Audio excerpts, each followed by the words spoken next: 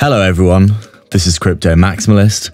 Welcome back to another video. Please like and subscribe if you haven't already, and get involved if you like the content. We're currently running a giveaway for those who are liking our videos, so give the video a like if you want to be entered into that giveaway. So just taking a quick daily look at Polygon here, and as we can see, really not doing much over the past few days. But it's pretty clear to us, you know, we've fallen back inside this range here on the daily time frame. You can see pretty damn clearly what's going on here you know, with that big, big rollover for the bear market. At least we are still in the bear market from what we can tell. But obviously, we had this big, big bearish price action for a long, long time here. We came down, tapped into that key level of support. We came back up here, started working the fibs. We got all the way up to the 050 where we formed a range for it a good while here between these two levels.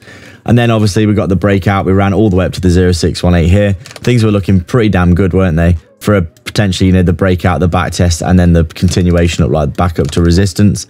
But with the um, FTX collapse that we saw, obviously we fell all the way back down inside the range.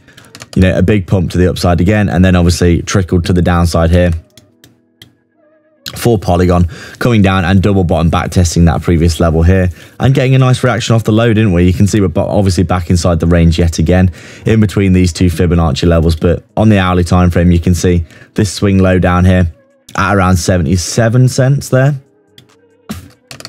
In and around this area. Did get a nice little back test. You can see we got the nice reaction off the low, but we did trickle and lose.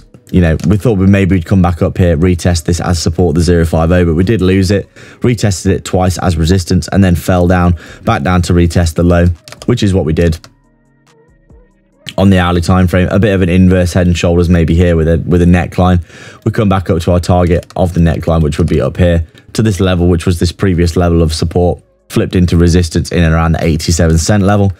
And now, you know, looking like we are just, you know, having a little bit of retracement back down probably to this previous resistance here as support at around 80, 81 cents. So Polygon right now, very clearly just chopping sideways in a range. And as we always say, these the targets for now will be at the top and the bottom of the range in around these Fibonacci levels until we see ourselves breaking out, back testing and continuing. So very simply, tight to the upside, we probably are going to see Polygon heading up towards that 95 cent to $1 area, we'd say over the next week or so.